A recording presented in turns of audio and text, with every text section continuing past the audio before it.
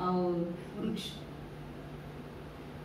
ये सभी हमें पेड़ का पर्यायवाची शब्द है। पेड़, तरु विटक पादप वृक्ष, पेड़। ये सभी पर्यायवाची शब्द है।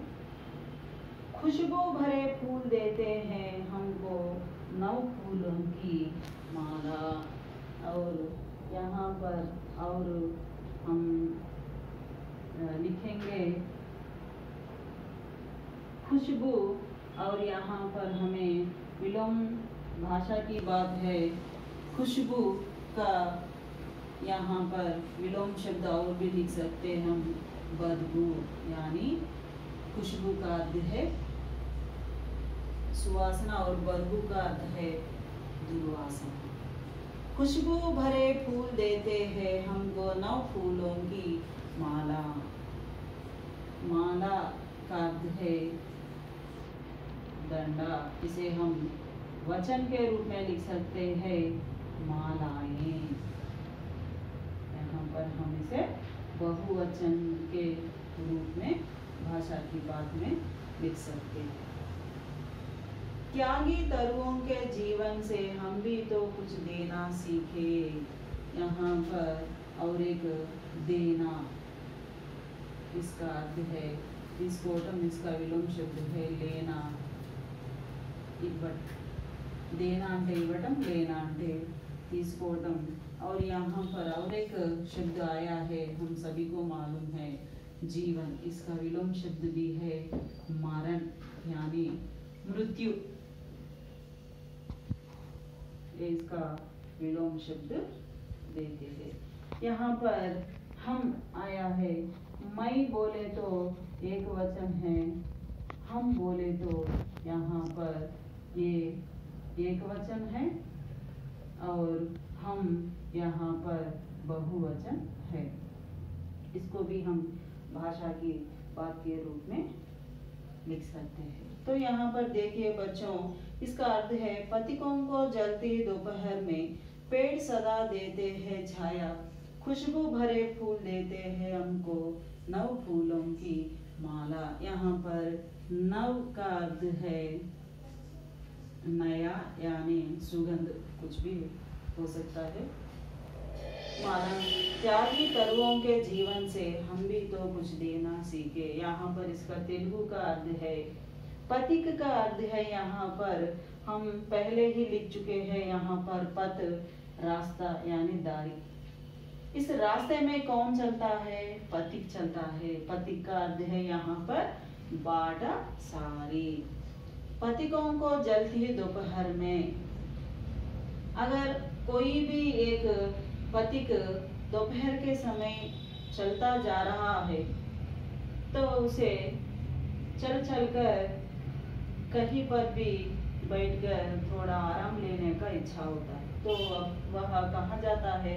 उसे कहीं भी अब्बा मुझे कहीं यहाँ पर कहीं भी एक पेड़ दिखा तो कितना अच्छा लगता है उसके नीचे बैठकर मैं विरा आश विराम लेता हूँ ऐसे सोचता है तो पथिकों को जल्दी ही दोपहर में पेड़ सदा देते हैं ఛాయ అంటే इसका తెలుగు का अर्थ है దారి గుండా వెళ్ళేటువంటి ఒక బాటసారి మధ్యాహ్నం పూట దారి గుండా నడుచుకుంటూ వెళ్ళేటువంటి ఒక బాటసారి ఎక్కడైనా ఒక చెట్టు కనిపిస్తే బాగుండు ఆ చెట్టు కింద కూర్చొని కొద్దిసేపు విశ్రాంతి తీసుకుంటాను అంటే ఆ చెట్టు నీడలో కూర్చొని కొద్దిసేపు విశ్రాంతి తీసుకోవాలని అనుకుంటూ ఉంటాడు खुशबू भरे फूल देते हैं हमको नव फूलों की माला तो देखिए बच्चों हमारे पाठशाला में अनेक पेड़ है उसमें फल देने वाले के पेड़ है और फूल देने वाले के पेड़ भी है। उसी प्रकार हमारे घर में भी छोटे छोटे उपवन होते हैं। उपवन का अर्थ क्या है? बगीचा यानी तोटा उसमें भी हमें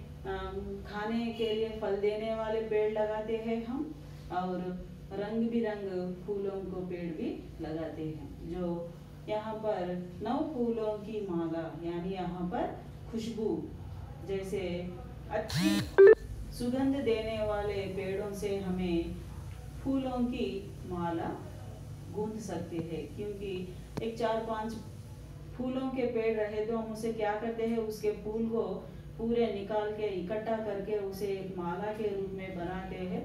उस माला को हमने हमारे घर में जो भगवान के मूर्ति होती है या उसे चढ़ाते हैं, भगवान को उस फूलों की माला को हम समर्पण करते हैं।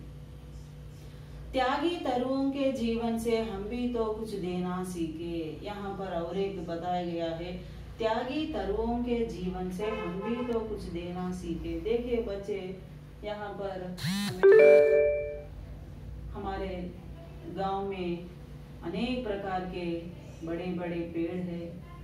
हमारे गाँव के आसपास छोटे छोटे जंगल के जैसे जंगल भी है। इस जंगल में जो पेड़ पौधे रहते हैं, उस पेड़ पौधों को हम कोई भी ने, नहीं लगाए हैं उस पेड़ को। जो ये प्रकृति है, जो ये, इसकी जो संपदा है, वो सभी ने हमें प्रकृति के रूप में मिले हैं। प्रकृति में जो हमने पाने वाले कुछ संपदा है, वो है पेड़ है, और नदी है, और पर्वत है, और आकाश है, और पृथ्वी है। ये सभी ने हमें प्रकृति से मिले हुए खनिज संपदा है। यहाँ पर जो इस प्रकृति में जो पेड़ है, वो पेड़ हमें बहुत त्याग कर रहा है। उसके कुछ उसके कुछ डालियाँ त्याग करता है, उसके खुशबू भरे करता है और उसके जो लगे हुए मीठे मीठे फल को भी हमें त्याग करता है और उसको जो, जब पेड़ भी सूख जाता है, उसको जो डालियाँ हैं, उसको हम ईंधन के रूप में उपयोग करते हैं। इस प्रकार प्रकृति के हर चीज़ हमें कुछ ना, जैसे नदी है, नदी भी हमें त्याग कर रही है। उसके पानी जो है, उस पानी को हमने उपयोग कर रहे हैं। खेती बाड़ी करने के लिए उपयोग कर रहे हैं और घर में जो काम काज करने के लिए भी उपयोग कर रहे हैं। अगर नदी में, तालाबों में पानी नहीं होता है, हमें खेती बाड़ी नहीं होती है और खाने के लिए खाना भी नहीं मिलता है। इस प्रकार प्रकृति की हर चीज़ जो है, वो हमें कुछ ना कुछ उसके मुख्य भागों को हमें त्याग कर दिखा रही है। तो बचे ये है इसका अर्थ है ఒక బాటసారి దారి గుండా నడుచుకుంటూ వెళ్ళేటప్పుడు తను సేద తీరడానికి ఎక్కడైనా ఒక వృక్షం ఉందా ఆ చెట్టు కింద కూర్చొని విశ్రాంతి తీసుకోవాలని అనుకుంటూ ఉంటాడు అటువంటి చెట్లు మనకి ఎంతో సువాసన కలిగినటువంటి పూలనిస్తవి అటువంటి సువాసన కలిగినటువంటి పూలను మనం ఒక మాల రూపంలో కట్టి భగవంతుడికి సమర్పించడం జరుగుతుంది అదేవిధంగా ఈ చెట్లు తర్వాత ఈ నదులు ఇవన్నీ కూడా మనకి ఏదో ఒక మనము త్యాగ భావాన్ని త్యాగంని కలిగి ఉండేటువంటి విషయాన్ని మనల్ని నేర్పిస్తూ ఉంటాయి ఇదన్నమాట तो उन्मुखीकरण के नीचे हमें पाठ्य पुस्तक में तीन प्रश्न भी दिए गए हैं वो प्रश्न है पहला प्रश्न है। पथिकों को जलती दोपहर में सुख व आराम किससे मिलता है। अगर इस उन्मुखीकरण को हम पढ़ते हैं, इसी उन्मुखीकरण को इस तीन प्रश्नों से संबंधी उत्तर भी हम यहाँ पर से देखकर इसको उत्तर लिख सकते हैं। पहला प्रश्न है पथिकों को जलते दोपहर में सुख व आराम किससे मिलता है। तो यहाँ पर देखे तो हमें उत्तर मिल गया है। पति को जल्दी दोपहर में पेड़ सजा देते है, छाया। तो इसका उत्तर है हमें, पहला प्रश्न का उत्तर क्या है? पेड़ है।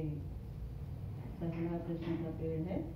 उत्तर है प्रश्न है, खुशबू भरे फूल हमें क्या देते हैं? तो हाँ यही उन्मुखीकरण हमें देखे हुए तो खुशबू भरे